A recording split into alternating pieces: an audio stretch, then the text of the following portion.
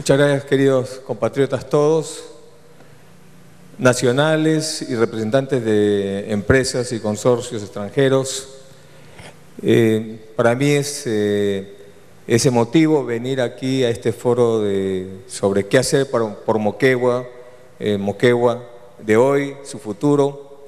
Y lo digo porque efectivamente, como dice Martín, mi carrera la empecé en Moquegua cuando era todavía alférez de artillería mi primera unidad fue el cuartel Mariscal Nieto, donde hoy día hay una universidad. Y yo llegué en los años del 84, 84, 85, y la foto del 84 al 85 de Moquegua no es la misma de ahora. Moquegua era una villa pequeña donde producían paltas, vinos, un poco de pisco y minería y no habían mayores actividades en Moquegua. No habían otros grandes proyectos emblemáticos de Moquegua. Hoy día Moquegua ostenta cifras importantes en crecimiento per cápita, cercano al 10%, eh, está entre los, en las primeras regiones en índices de comprensión de lectura y razonamiento matemático, eh, hoy día tenemos en Moquegua planes expansivos en lo que es eh, educación de calidad. Estamos trabajando juntos con Moquegua en lo que es eh, el desarrollo vial para que pueda integrarse desde su capital, pasando por la zona altoandina de Omate y llegar a Arequipa. Estamos trabajando lo que es la ampliación de sus proyectos de irrigación con 3.500 hectáreas adicionales para consumo y también para irrigación de campos, el proyecto Lomas de Hilo, Lomas de Hilo y también su añorado hospital regional. Pero Moquegua es más que eso, porque Moquegua es parte eh, de un gran proyecto que es el desarrollo energético del país. El desarrollo energético consiste en extraer el gas de las zonas de camisea, llevarlos por un gasoducto sur peruano que llevará a la costa sur del Perú el gas para su industrialización vía el desarrollo de la petroquímica y que en ese proyecto Moquegua está incluido necesariamente. Ya de por sí hay eh, la concesión para la construcción de eh, plantas de reserva fría en hilo.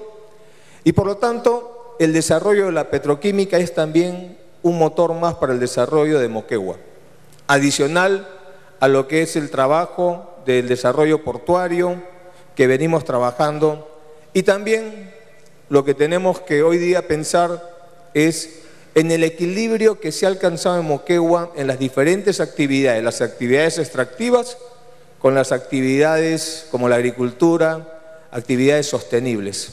Y eso es importante y yo quiero saludar y felicitar a su gobierno regional que ha sabido llevar todo esta, este equilibrio en paz y que al final beneficia a la población de Moquegua. Esta situación pone a Moquegua en una, en una posición envidiable para eh, recibir inversiones de toda índole en el tema minero, en los temas de desarrollo educativo, en los temas de desarrollo portuario, en el comercio que se está generando. Y por lo tanto, hoy día Moquegua tiene el desafío de mirar hacia el futuro con optimismo, pero con sostenibilidad. Porque para que desarrolle Moquegua, también tiene que desarrollar la Macrosur, esa macroregión que involucra a Purno, a Tacna, Arequipa, Cusco. Es una, una región importante porque Moquegua ya está involucrada en, este, eh, en esta macroregión donde gran parte de la población moqueguana ya viene de Puno también, es de origen puneña.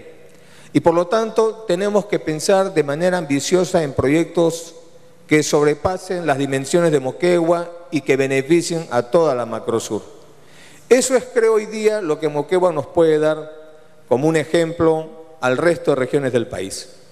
Miramos también la coyuntura y, el escenario electoral. el nuevo mapa político electoral que se presentará a partir del próximo año. Un mapa en el cual esperamos que los candidatos y el que, y el que continúe en el gobierno regional eh, continúe las obras, porque es importante eso, darle continuidad a las expectativas de Moquegua, a las esperanzas de Moquegua. Y en ese sentido, este gobierno que va a trabajar, va a trabajar con el nuevo gobierno regional, se compromete a seguir trabajando en, la misma tónica y con, con el mismo impulso y buena voluntad como hemos venido trabajando con Martín. En esos proyectos apoyaremos. Apoyamos eh, en temas como la reducción del canon minero que ha venido sufriendo Moquegua en los últimos tres años. Una reducción sustancial en la cual hemos ido compensando, aumentando recursos en aproximadamente un 17%.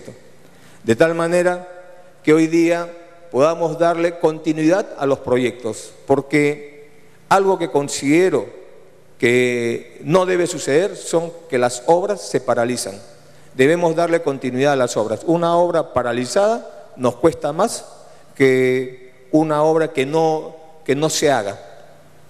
Por lo tanto, necesitamos nosotros avanzar con este gobierno regional, con el siguiente gobierno regional, porque esa es la continuidad de una política en el cual las inversiones que vengan en las diversas áreas para Moquegua no sientan que hay un bache, sino sientan más bien la confianza de que Moquegua es consciente de que necesita seguir avanzando y quiere desarrollar su región.